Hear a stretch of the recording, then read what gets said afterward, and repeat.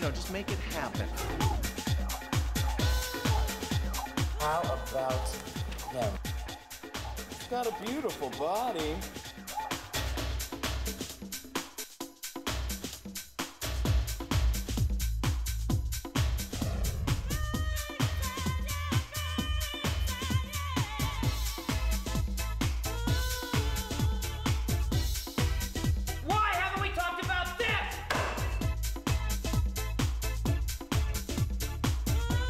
Bye bye.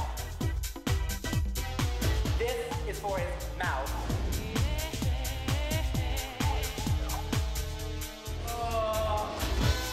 There's only one bloom in the cake. Wow. My first South Beach theme party. Paul, I invited Eddie here. Really? I gotta let you go. Please, Eddie!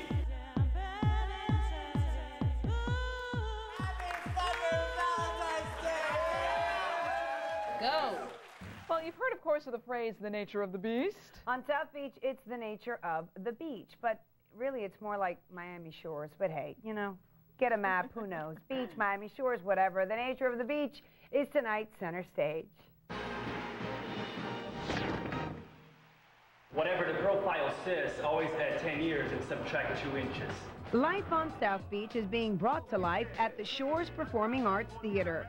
The Nature of the Beach stars eight gay men trying to survive life on Miami Beach. The play is about uh, dating and relationships in South Beach, and uh, it's half drama, half comedy, makes you laugh and makes you think all at the same time. It's about relationships. It's about um, how difficult it can be sometimes to have a relationship on the beach because uh, it's kind of a wild place here. The rules are different here than in other places. David Sexton is the author and one of the stars of the play. He came up with the idea while working out at Ironworks Gym, which he also happens to own. I spent a lot of time uh, just listening to conversations, watching what people were doing, seeing how two people would come together and then suddenly be apart, and you know you'd see them with somebody else. Those nipples make me nervous. The show is about gay couples, but one cast member, who is the only straight guy in the play, says everyone will be able to relate. I think it's very truthful. The feelings uh, and the notions in the play are very truthful. And in true South Beach style, there are some racy things in this show. There's um, s- a bit of nudity in the play, and uh, but just you know, just talking about sex just the way you hear on TV now and cable. You like what? What we just did. It certainly is edgy. I don't think there's anything more shocking in the play than is on Sex in the City.